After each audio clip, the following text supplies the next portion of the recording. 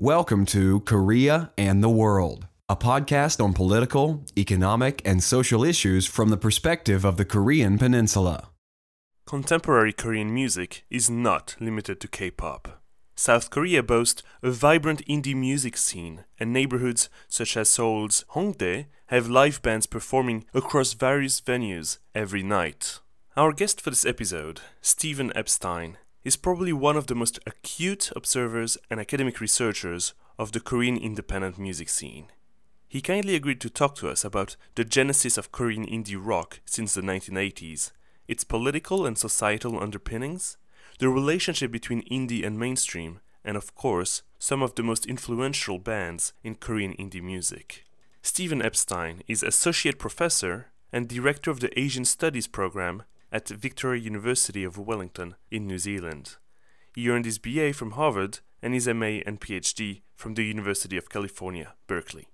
Professor Epstein has published widely on contemporary Korean society, popular media, and literature, and has translated numerous works of Korean fiction.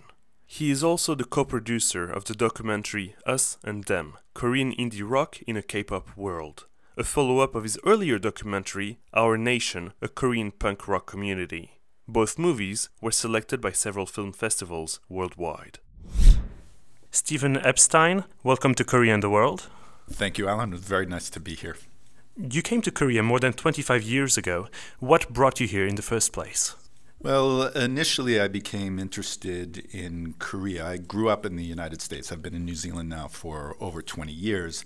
But in the US, I had a number of friends who were Korean American, and I became interested particularly in Korea that way. And when I was in grad school, there was a course offered on Korean literature in translation, which I found absolutely fascinating. And the following summer, and this was in the school year 1986 87, and I decided to come to Korea in 1987. People who have some familiarity with Korea will know that the summer of 1987 was a very, very interesting time. Really, the height of the democratization protests and the movement, and seeing that go on really pulled me in to the country as well. And I, I, just had a great time here. I met a lot of terrific people, many of whom are still friends. And I never really looked back at that point. So, why did you decide to research South Korea's independent music scene? So, that year that I was here, which was a wonderful experience in so many ways, had one significant drawback for me. It's hard to imagine from the perspective of 2015 just how different Korea felt in the late 1980s. But one of the significant differences was the music that you would hear ambiently in Korea at that time. If you were going to a cafe with friends, that either you would be hearing Western soft rock, stuff like the, the Carpenters or the Eagles, which is not really my type of music, or the Korean popular music of the time, which is very different from where K pop is today.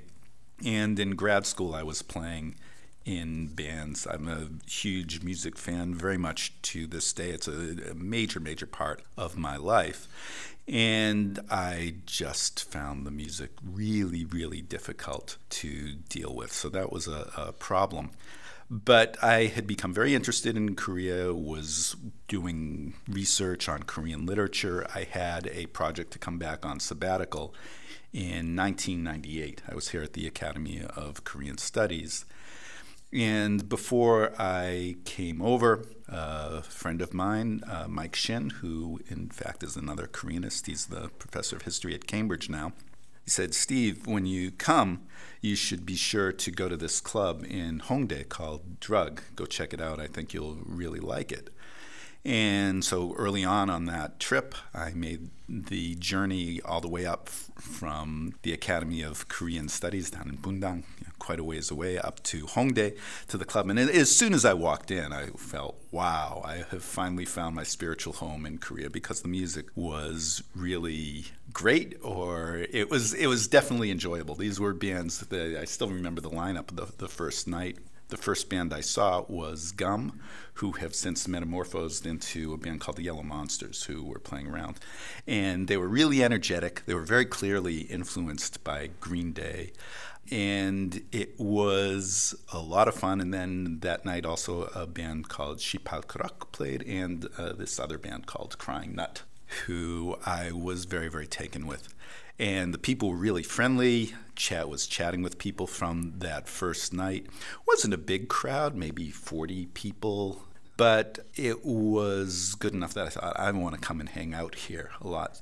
And given the distance at that time, I was making the journey two or three times a week so, very significant. I don't do that kind of travel anymore on the subway. I've become a bit more stationary, but it just gives a sense of how much it meant to me. And so I was there purely to be part of the scene, to hang out, to listen to the music. At that point, one of the things that I, I tell people is Crying Nut in its early years was just an amazing band. I felt that I was really lucky because I, I genuinely believed that I was seeing what may have been the single best live band in the entire world at that point.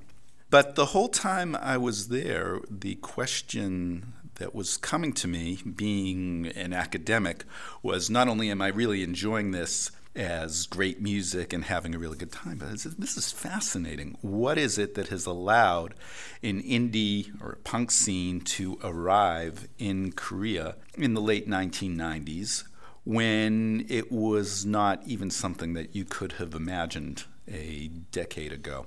So, towards the end of that trip, I started to think, you know, I really should write something about this. And so I began working on it. So it really wasn't as some people say, hmm, I want to write about Korean indie music or whatever, and, and then go and come from it that way. I, to me, it was much more organic. And that is something that I actually appreciate about my relationship to it is I started out because I really liked it and then converted to writing about it because I'm an academic. What did you find? How did the punk and indie scene develop in the 90s? Yeah, that's one of the issues that I really focus on in, in the first lengthy piece that I, I wrote on what happened. And there, there are clearly a variety of factors that were going on. And I think the ones that people might first initially turn to that seem really important are political and economic. And for one thing, politically, the fact that you had democratization really made a big difference culturally in what was happening in, in Korea in the 1990s. And when I look back now, I think of the 1990s as being a particularly exciting time, that there was a sense of possibility, a loosening of restrictions, loosening of censorship. You can see what happened in the film industry, for instance, that from the mid 90s on, and for a decade, I think Korean film really entered a golden age. And in places like Hongdae, you started having people who had a resistant approach to mainstream culture who were coming together in trying to create alternative movements to the mainstream, and that expressed itself in music. So, without the military dictatorship, there's a loosening of censorship. For music specifically, one of the most important things is you started to have the possibility for live clubs the military regime had really kept a very tight clamp on what was happening with, with playing live music. Because you think you're, you're getting people together playing loud live music that you have the potential for subversion going on so just having places to play meant a really huge difference for bands to be able to come together and to find performance venues. Economically, Korea had really been coming along. Its those were still through the 80s and, and into the 90s, the big growth years. So there was more money. People just had more disposable income and were able to use it in different ways. Also, political and economic, I, I would say, is again with the change in the political structure that there was a real loosening of passport requirements. And that made a huge difference. So people began to travel much more frequently, people going abroad, people becoming exposed to outside musical influences, bringing them back, bringing back CDs, sharing them with friends and the like. So people were getting much more knowledge of the music that's happening overseas. So from the mid 90s, you, you, start to have these clubs. Into the later 90s, one of the other ways that people are becoming much more familiar with indie music around the world is through the internet, is really starting to catch on in Korea at that time. And technologies like the MP3 makes a huge difference if you can get exposed to music that way and download music. So people have much more knowledge of what's happening. Globalization is a buzzword of the Kim Young Sam presidency, so people are much more conscious of these global influences and, and forms. And another reason why punk more specifically took off at that time is you just have this historical accident of the revival of the punk scene in the U.S. in particular at that time with bands like Green Day and The Offspring and Rancid. And I suppose another touchstone for the Korean scene and around Asia was Nirvana in the early 1990s. And Nirvana also had a really big influence on people wanting to do alternative rock. One of the things that I have only realized in retrospect, because I was very focused on Korea in the, the late 1990s and wasn't as aware of what was going on around Asia, is Korea wasn't unique. I thought a lot of this story was unique to Korea, and some of the factors I've given you are, are, very specific to Korea. But you can see punk and indie scenes forming in Asia around this time, probably because of some of these same issues about globalization and the punk revival and Nirvana and so on, that people are, are getting exposed to that. It's interesting now to try and look more broadly at Korea within a larger Asian surge in, in punk and indie music. Was the Korean punk and indie scene at the time resisting against something specific, or was it more a general resistance? Good question. Um, a general resistance. Yeah, I guess in a sense I'd call it a general resistance. That, that in the 90s, when you were asking people why they were participating, that what they would talk about, I think there were two words that were most frequently used, you know, 자유. So freedom, it was an expression of freedom, just a sense of being free. On the first punk CD that came out off the drug label, there's a phrase about letting the energy of our youth burn. And people were young. It was a very energetic, a very vibrant scene. The other word was stress, stress, you know, stress del pulda. So people wanted to blow off stress. So my first piece, actually, what I do is I, I kind of compare Korean punk with what people think of as classic punk from the late 70s in the UK with the Sex Pistols. And maybe the iconic two punk songs would be God Save the Queen and Anarchy in the UK. And Anarchy in the UK starts out I am an anarchist and I am the Antichrist, don't know what I want, but I know how to get it. I want to destroy passersby. Whereas one of the anthems of the punk scene here was Crying Nut song Galmegi Seagull, which is basically told from the point of view of both a boy and a girl in alternating voices. And it's like, you know, dad says you got to do something with your life, but I don't know what it, I can do, you know, in this tiny room of mine. And the next verse from a, from a girl's point of view, Mom says I've got to marry into a good family. That rich boy I met yesterday doesn't really suit me. I want to be free. I want to I want to leave this place. I want to get away. So again, it's a really, really different ethos you get from, uh, you know, I want to destroy passersby to the rich boy doesn't I met doesn't suit me. It wasn't very political.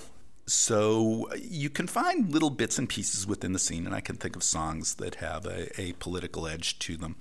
But more, it was uh, problems with parents, issues with the education system. That was what people were resisting against, rather than specifically resisting against the government. There's really has been very little of that some of the more interesting songs. Uh, one of the bigger punk bands, Rux, had a song about military service. You know, I don't want to go. I got to go. I don't want to go. And resentment about that. There have been some more anti American songs on one of the early punk compilations. There's a song called Fuck USA, so something like that. But I can't think of that many songs that really, or at least not from the more well known bands that have a, a, that kind of political edge to it that you find in more political punk overseas. For neophytes such as myself, could you maybe give us the name of a few bands without which Korean indie music would not be the same? I would say within indie music, because it can be fairly large, there have been a few bands that have been particularly influential. And I have followed the thread, which is more punky than others, but some bands that I, I, would certainly point to. Crying Nut, who I mentioned, and who've been really the biggest indie band, I would say, from Korea and well known within Korea. In 98 99, on their first CD, they had a song, Maldalija, which became a big hit and is very well known to people. You'll find it on playlists at Noraebang. In karaoke places, so that it's something that is is known to people. And they've done World Cup songs. There's another band called No Brain, who were another one of these early punk bands that also shows up on TV from time to time. They were in the film Radio Star. And so they have made something of a name for themselves. And there are other bands that will show up on, say, soundtracks from that early indie scene. Third Line Butterfly has been around for quite a while. And they've won awards and have songs on, say, drama soundtracks. So those are, are some that go back there's some bands I'd want to single out. I suppose uh, the Geeks is more of a hardcore band. They're interesting because they are very well known within the hardcore scene overseas, and they're a band that people would point to. And then Deli Spice, some of the bands, the indie bands from the 90s that aren't around any longer, we could throw in there as well. Thus far, we have discussed Korea's independent music in fairly broad terms. Uh, we have mentioned punk, we've mentioned indie, independent, but what do all those terms mean? And more importantly, is there a difference between indie and punk? Yeah, definitely there's a difference between indie and punk. And punk is a genre that people would say began to rise in the latter half of the 1970s, and it has a particular oppositional edge to it. Indie is an interesting term. So you started to have punk, which was a movement in, within rock that was reacting against mainstream, uh, say, hard rock or progressive rock that was popular in the 70s at the time, album oriented rock but then punk opened up a lot of possibilities for what was happening in music. And a lot of it has to do largely with the economics of the industry and distribution channels. So you had more and more people creating their own independent labels. So independent, indie really comes from independent, obviously, and has to do with people who weren't affiliated with the major labels and just wanted to make music and were very much DIY, do it yourself in saying, hey, we like music, we want to play in clubs, we're, we're developing our own fan base, and we want to release it and do things on our, our own terms rather than signing ourselves away. And so you had these labels that were being set up, and you had the punk scene, and then there were other terms that were being used, new wave and post punk into the, the 1980s. And then you started to have the rise of the term alternative was being used more frequently than indie. But what happened with Nirvana and bands like Pearl Jam is then alternative started to become actually fairly mainstream and had a lot of successes. So the term alternative came to mean a particular branch in terms of the sound of rock music as well.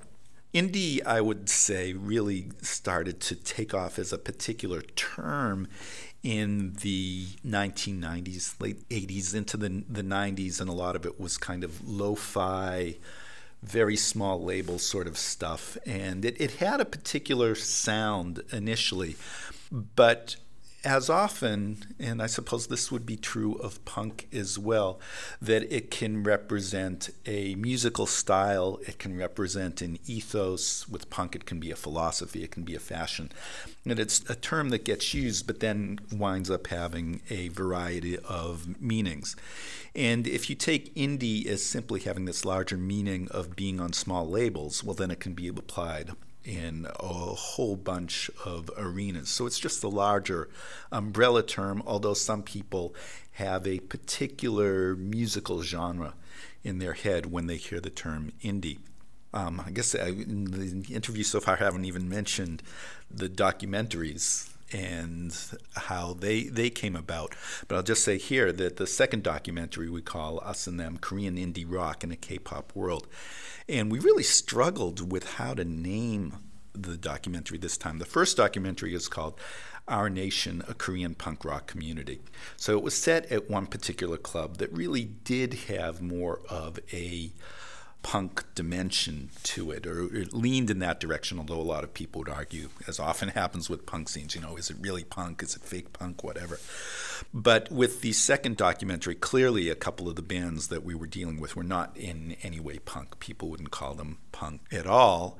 And so we didn't want to use punk, and then we were thinking of using underground, but some of these bands have had success. So when you have success, are you still underground? So we settled on indie but we weren't 100% satisfied with that. And then we added indie rock because these were rock bands. You have plenty of other indie bands here in Korea who have their own sound, which is nothing like the bands that we focus on. And in fact, interestingly, what has happened in the last few years is that indie is becoming a hot term within the Korean music scene. And in fact, Korean indie, I would say, is becoming quite mainstream. It is within Korea a particular style of music. It's not a K pop style, but it, Korean indie, or even worse, K indie, branded with the letter K, tends to be very let's call it non threatening music, softer acoustic instrumentation with cutesy vocals, and a lot of the bands in it have kind of cutesy names. I've found three different bands that use rabbit in their name that I would put within K indie as well.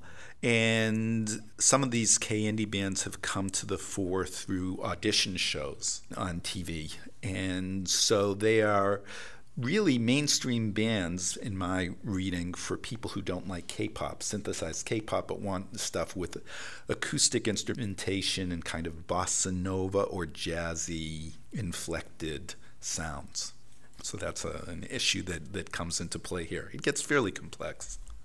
Leaving K indie on the side, is it possible for an indie band to actually be a commercial success?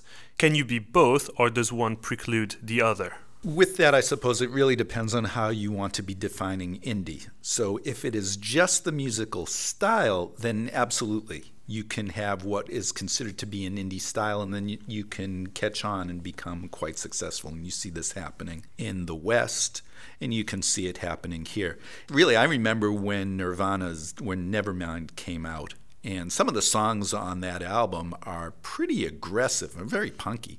And I just remember being amazed that that had become the number one album in the United States. Here in Korea, there have been some indie bands uh, that have had successes, like uh, Changiha in the Faces, which is a band that in fact comes right out here out of this campus. That he is a student here at Seoul National if you then show up on national television, are you still indie? Yeah, I would say so. Uh, it's your musical style in in that sense. But one of the issues when you are coming from being a DIY band, so if you're trying to do things yourself and you have commercial success, you will often be criticized for selling out. So I would say my personal take on this because it's a question that resurfaces constantly, is the extent to which you're being true to yourself. And if you're being true to your ideals and you're maintaining control, and it just happens that what you're doing catches on, well, more power to you, really. I think if you change your style, your musical style, you change your lyrics, that's a different issue. If you're saying, hey, we'll make more money if we change, then you can legitimately criticize people who are doing that because that is selling out. That's very literally choosing to do something for the money. But if you say, hey, we've been doing it this way all along, and ah, suddenly we've become successful, well, I don't see a problem with that. I remember Green Day's breakthrough album because they had already released a couple of CDs and they were a band from Berkeley, which is where I went to, to grad school. And I was a somebody I, who had been to see a few of their shows. I was on their mailing list. And when their first major label album came out, I got a postcard from them and they were saying, hey, check it out. And they had kind of an ironic take. You know, we're on a, a major label, but we're still doing the same music, the same songs. In fact, they're the same three chords which was true, but they had a big breakthrough success with it at that point. Recently, the term indie has been criticized for, well, as we have discussed, its lack of a clear, definite meaning. For example, Morrissey, the former singer of The Smiths, has been quoted saying that, and I quote, the word indie is meaningless now. It's so overused that people think it simply means green hair. Do you agree? Eh, yes and no. I, I think it, it, can be used in ways that have pretty much stripped it of its meaning. So I think with a lot of labels that we use, that they're contested and they're always being negotiated so that they make their way into common popular discourse and various people will have their own take on what it means to be indie and they're not going to necessarily agree. And I suppose you can say if there's so much disagreement around a particular term that we can't settle on its meaning, then it becomes meaningless. And it could be that one quarter of the population agrees and has one particular set of meaning for a term and it has meaning for them, but other people use it in different ways. So that's a problem with almost any label. I think this is one of the things when you're coming at things from an a- academic perspective and trying to achieve definitions. This is just one of the issues that you uh, encounter, whether you're talking about something cultural or whether you're talking about, I don't know, globalization or democracy or any of these larger terms that we need to come up with a clear understanding of. Very frequently, there are different people who understand the term in different ways. So, focusing on South Korea, what is South Korean indie? when asked about South Korean music, most people would, well, either think of traditional music or K pop. What makes Korean indie music uh, unique compared to those two other genres? That's a really good question. I would say, for one thing, that it is really hard to define Korean indie from a musical perspective because there are so many subgenres within it, from punk to electronica to dance rock. I would include some metal in there. There's the K indie variety that I was talking about. There is, in fact, a channel on YouTube, Mirrorball Music, that proclaims itself the sort of the one-stop shop for things indie from Korea. And they have playlists that are divided up by musical genre, but they're throwing in jazz, blues, reggae. And when you see that, and all of those clips are stamped with K indie, so it really raises the question of how do we understand indie here? And again, I think it's just that they're trying to promote bands who aren't signed to a major label early on, instead of this K indie thing, in something of an ironic way, the early punk bands took on the, the mantle Chosun punk. And they're looking at the term from the Chosun dynasty and, and so on, and the term that North Korea still uses for itself.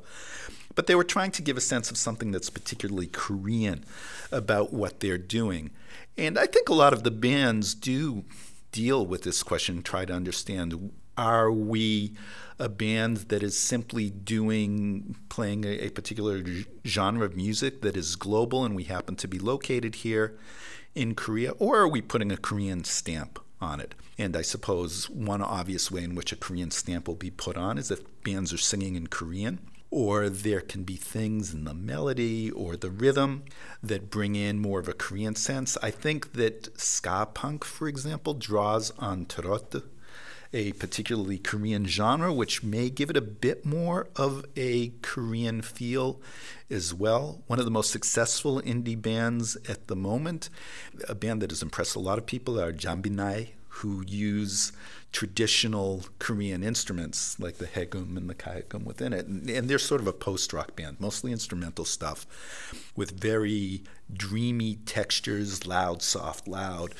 they're really good. I, I think they're a really impressive band. And, and they, to a lot of people, would be very obviously Korean because they have traditional Korean instruments in their makeup. But you'll find other bands here that almost reject, I would say, their Koreanness. One of the bands that I think is very talented that I happen to like a lot is called Love X Stereo, and they are achieving a buzz overseas. They've played in a few festivals. They're set to go to South by Southwest, which was one of the biggest music festivals in the world again next year. But they sing entirely in English, and in interviews, they have gone on record as saying things like, we'd rather be known as just a good indie band rather than a good Korean indie band. And to them, I think it's just more important to be known for their music than from where they, they come from. And they are particularly influenced by a lot of the electronic dance bands from the 80s and 90s, uh, New Order in particular. And they make music that follows on within that tradition, but they've got their own style and have a really good sense of melody and dynamics and, and the like. And I don't think there's any reason they can't compete at a global level, just staying within that style. And one of the other things they've they've said within that is really once a band is successful, it doesn't matter where you're from. What about the industry itself? How does K-pop differ from Korean indie music? Well, one of the major differences between K-pop and the indie bands that you will find at Hongdae is the way they come together, the way that they are managed. K-pop is an enormous enormous and enormously successful industry now in Korea with huge management companies, you know, SM and YG, JYP being the, the most well known, that have a really interesting system in that they take young people and they train them for several years and then put them together into idol groups. That's really the main venue for getting K pop people out into the, the world at this point. So they invest a lot of money and they reap big profits, largely from having them appear on television and the like, doing advertisements, touring more than from the actual physical sales of music, which have really decreased over the years in Korea. Korea was the first country in the world where digital sales surpassed physical album sales. So there is a difference in the production and the distribution. Indie bands, those are groups that will have just come together. They like playing music, or you advertise for a bass player or, or, whatnot. And they are largely, a lot of the bands aren't really even there specifically to be making a living from their music. They are there because they enjoy playing music and they are having fun doing that and see it as an act of creative expression. So when they're releasing CDs or music on independent labels, these are just small DIY, do it yourself little production companies that put something out and they won't sell a huge number of copies. And a lot of bands don't necessarily make a lot when they play out. Now, some of the bands that have gotten bigger, Crying Nut is an interesting example. They have, from time to time, TV appearances, but they'll also play corporate events and the like, and to make a reasonable living, enough for them to be playing music full time that is one one of the ways, just in terms of the economics of the industry. There aren't a lot of bands like that, but that's an interesting development that has occurred. That was one of the things that came out of the interviews when we were doing the follow up documentary. That was kind of a surprise to learn that that was how they were getting on. We will talk about the means of survival of those bands in just a few moments, but first, how divided are Korean indie music and K-pop? Is there no interaction between the two? Uh, do they interact at some times? Well, the level of interaction can occur in a couple of ways. It, in one sense, I would say that the bands that are playing at Hongdae really have no particular connection to the K pop industry, but there are some who are touring overseas, and there have been umbrella organizations that are trying to get Korean bands, regardless of where they stand in terms of their their genre, out to perform internationally. So, for example, you have the DFSB Kollective run by a Korean American guy named Bernie Cho that has been promoting Korean music overseas, both through touring and he's been doing a lot of work with trying to get Korean music onto websites like Spotify and the like. And they've, they've done well with that. There have been some recent successes. So, when, for example, at South by Southwest, you will have Korean nights specifically. They they do a tour that is branded as Seoul Sonic, where they bring a bunch of indie bands to play together. But there's also been something called K-pop Night Out, and in fact, with the K-pop Night Out, they've had indie bands play with K-pop bands. So, in fact, last year or two years ago, you had Crying Nut performing on the same bill as K-pop stars like Hyuna from Four Minute and the female in, in Gangnam Style and Jay Park, another huge K-pop star. And it's interesting that Crying Nut managed to appear on that bill. But you also have a band called Hollow Jan, who is what I would call a screamo band who played that night. And it's interesting because that was a very big night. You had somebody of the stature of Lady Gaga showing up in the audience, and I'll bet a lot of people who were there to listen to Jay Park and Hyuna were really taken aback when Hollow Jan was on stage because their music is really pretty aggressive. And is there a deliberate will among indie musicians to go against K-pop trends? I'm not sure I'd talk about it as a deliberate will to go against K pop trends, in that the music they're playing really doesn't sound anything like K pop at all. And they most bands wouldn't even see themselves necessarily as interacting with K pop as such. That said, with a lot of these bands, what is interesting about Korean independent music and Korean punk music or Korean trance electronica, whatever, is that what has happened as a result of the international rise of K pop is Korean bands, unlike bands in a place like, say, Indonesia, which has a wonderful Indian punk scene, I, I, would say, is that people are curious around the world about Korean music. They know K pop, so they are a little bit more interested in hearing what more interesting music comes out of Korea. Hmm. And people will go online and look for Korean indie stuff in a way that I don't think necessarily happens with some other nations in Asia. Gangnam Style itself certainly had a major effect on the ability of Korean bands to get themselves heard overseas because suddenly you have the most viral video sensation that the world has ever seen coming right here from Seoul itself. And I think that really is something that nobody could have possibly predicted, but it has um, interesting effects. That, that even before Gangnam Style came out, you started to see these Korean night out at South by Southwest and Canadian Music Week, but I don't think there's much question that it, it's brought additional attention to indie bands here. The financial survival of indie bands always seems to be a big problem. How do they survive on a day to day basis?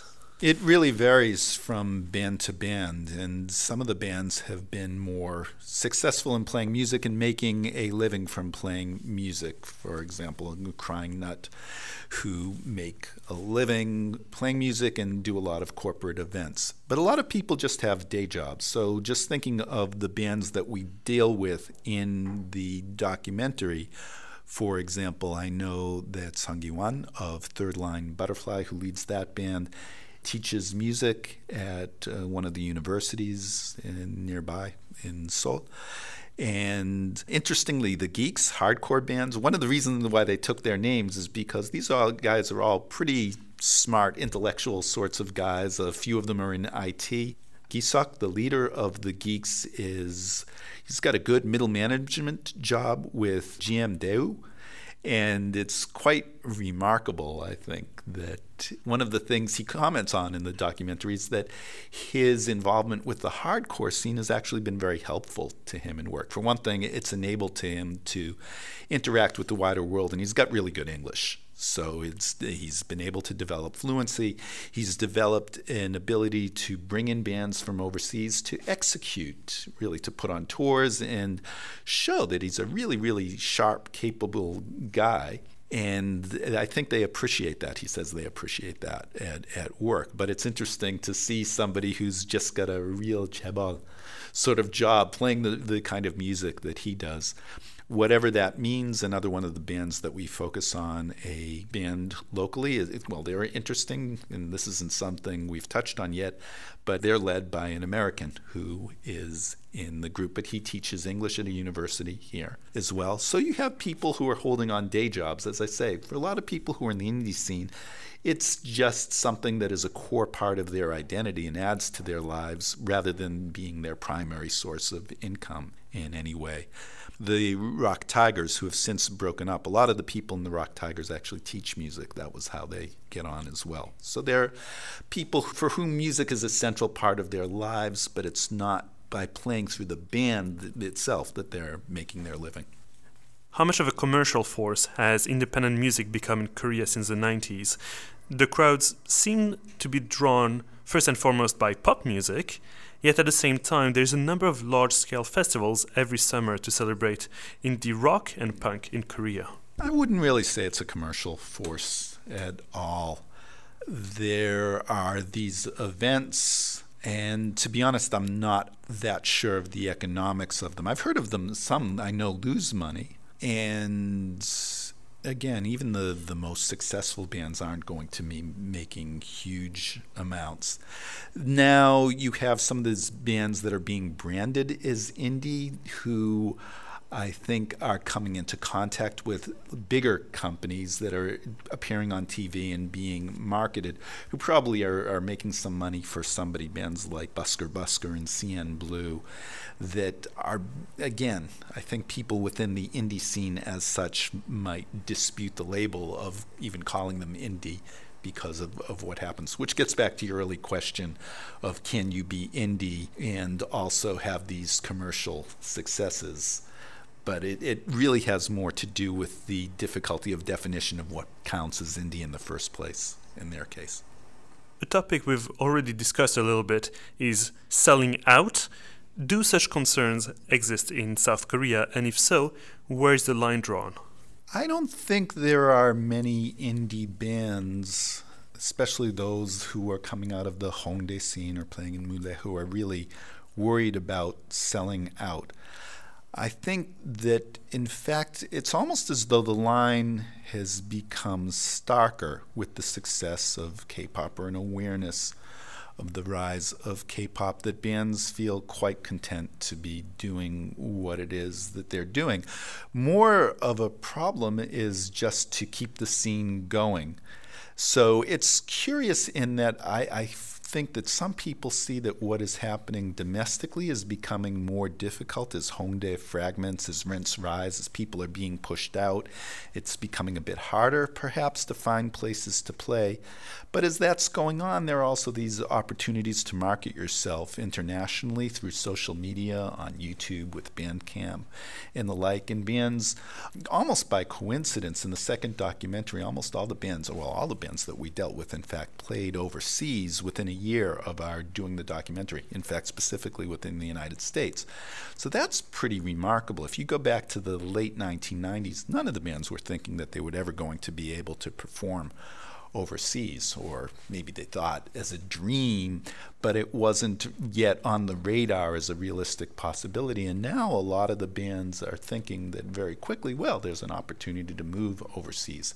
And there can be possibilities for institutional support. One of the interesting things that's happened is that KOCCA, the Korean Creative Contents Agency, is helping to fund some of these bands. They're offering support when they're playing at festivals overseas, or the Korean Cultural Centers, which are part of the public relations apparatus of the Ministry of Foreign Affairs that you get bands who are playing indie rock showcases. For example, the Korean Cultural Center in, London had an example of uh, a showcase recently going on as well. So there are a variety of different trajectories that can be observed happening at the moment.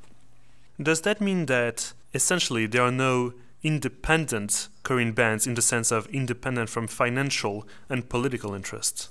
Oh, I think that most of the bands are independent, I would say. It's just a, a small number who happen to have the opportunity to get these sort of funding possibilities that, that take them overseas.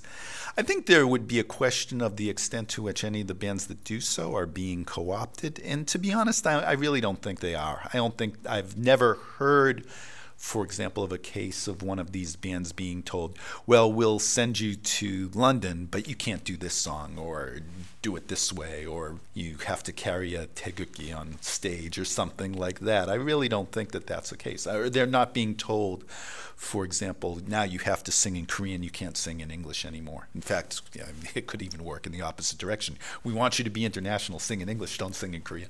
But there is no case that I've heard of where there's been an attempt to exert creative control. It just is odd when you compare what happens in Korea with the way indie bands from, say, the U.S. would travel. But it's uh, part of it just has to do with a, a vastly different approach to the market. And it says something, I suppose, just about the way that Korea's cultural industries have developed over the last decade, that the government sees what happens in the various spheres of cultural activity, whether it's K pop or whether it's more independent music, it's something to help with national branding. Just get it out there into the world and maybe success will come from an unexpected quarter. And there are ways, I suppose, that we might feel a bit uneasy with the government getting involved, but you could also look at it and say, hey, it's great that there is official support for the arts as well. While there is this international expansion, you write that indie bands tend to, and I quote, uphold a more intimate tie to geographic and temporal location. What do you mean? What I meant by that statement is there is an interesting comparison when you look at K pop and Korean indie bands, if you say their music videos and what they are singing about. That curiously, K pop, and some scholars have written, for example, John Lie out of Berkeley has a, an interesting piece called What is the K in K pop? So we have this very important letter that brands things that come from Korea. But K pop is a very hybridized form. And though it has become recognizably Korean, it has become recognizably Korean by, in a sense, divorcing itself from Korea. So that a lot of the performers are Korean, although K pop gets in performers who are not Korean as well. But if you look at the songs or look at the music videos, there's very little that says that it is specifically Korean that they tend to do the sets in boxes and being based around dance and so on. Whereas Korean indie bands will often have songs that have background landscapes that you see from Seoul itself, or songs that somehow reflect their location in Seoul and will be set at clubs or with bands or street scenes. So there's much more of a sense of place that you get from indie music than you do from K pop itself. That was really what I was talking about with that. Another line you wrote is that Korean indie rock is increasingly embedded overseas, and we've talked about this, but also overseas indie rock musicians are increasingly embedded in Korea. And you've hinted towards that uh, earlier. Can you tell us more about it?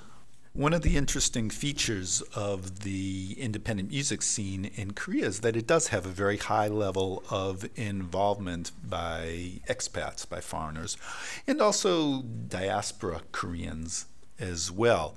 At this point, the Korean population has really by Korean standards, exploded in terms of the numbers of, of foreigners who are here. It's up to about 3% of the population. But my estimate would be that if you look at the indie scene, maybe 10 or 15% of the people who are involved are foreign. And Jeff Moses, who I, I, mentioned from the band Whatever That Means, he's an important player in the scene. So he's a, an American. He put together one of the most recent compilations of punk music here in Korea. So you find there's are a lot of uh, expat bands who play Interestingly, you'll go to shows. One of the most recent shows where I saw Love X Stereo play, it was interesting that the lead singer, Annie Ko, her between song patter was entirely in English. Maybe half the audience was foreign. Well, I shouldn't even say Western here because there are probably other foreigners who are about. And uh, one of the other bands was composed primarily of foreigners. I think there was somebody who was local. One of the other bands, the drummer was a Westerner. It's just interesting to see this mixture. And it's a nice thing, I think, that you get a sense of this being a side of Korean society where there is easy mixing between people who are local Korean and people from the outside, and that it has a cosmopolitan and international outlook. And you'll get other cosmopolitan or transnational Koreans, Annie Ko, whom I just mentioned, who grew up when she was young. She spent quite a few years living in the U.S. Another band that has gotten a lot of buzz is called Dead Buttons. It's a two piece, and the drummer of that band is a Korean Paraguayan. So he is back. His dominant language was Spanish, and so he's here and performing in a band. And you have other interesting examples like that of bands, so that you see ways in which that this is one of the areas because it's a genre, an aspect of society which is itself cosmopolitan, is is touching on the outside world. Music is really interesting that way in general. I think that it is one of the cultural spheres that most easily overlaps international borders, and that's true around the world. That music can travel because, in fact, it's not so much text based the way that literature or theater would have a harder time because you really need to know what's being said. Whereas people can love a song and respond to it without having any idea what's being said. And you can think of, for example, Gangnam Style, where people around the world are singing along in Korean without having any idea. I do remember watching the Today Show and just seeing at the height of the Gangnam Style viral craze, I thought it was awesome to see people in Manhattan.